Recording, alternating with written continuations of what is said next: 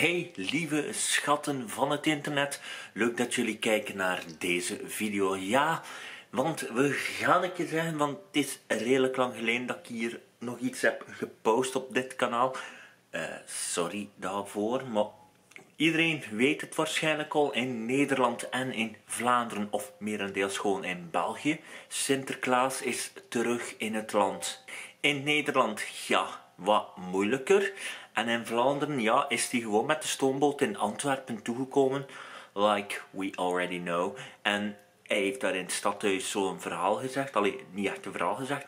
Hij heeft daar gewoon gezegd dat er geen stoute kinderen meer zijn. Maar je is terug.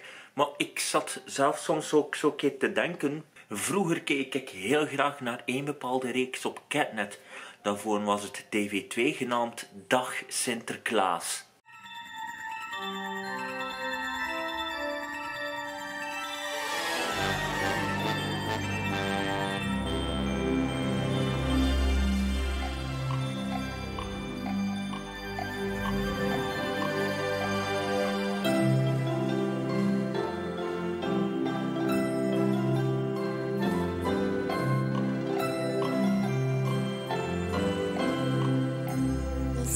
Jij alles weet van Sinterklaas?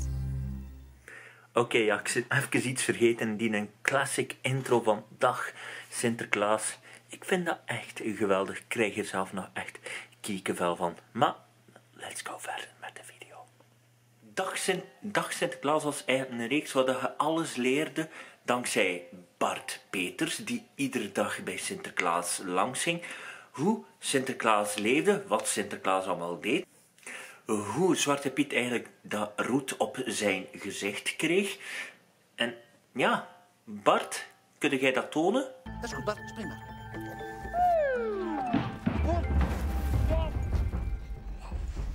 Dag Bart.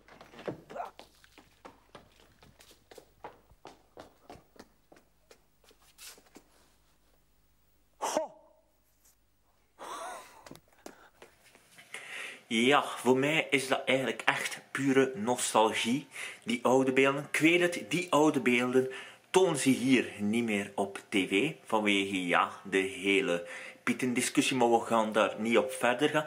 Maar eigenlijk, in de krant stond er overlaatst een artikel over de oude reeks, dat er massaal achter gezocht werd en dat mensen tussen de 40, 60, 70, 80 90 dat mensen zelf tot boven de honderden euro's zouden geven om die serie nog eens te zien of niet te hebben op DVD. Het is dat dat bedoelde.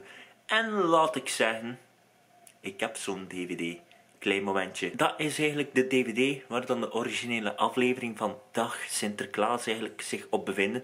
Ik heb mijn hand ergens heel toevallig opgezet, van dat kan een beetje uh, zijn, maar deze is echt de max. Voor mij is dat echt een ding.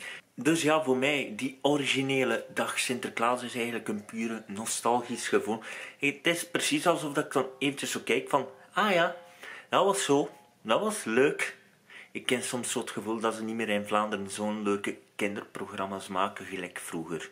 Zo had de dag Sinterklaas gehad, de vroegere Samson en Gert en wat had je nog, Wacht eens even en daarmee basta, maar swat, we dwalen over. Dus ja, dat wou ik eigenlijk zeggen in deze video.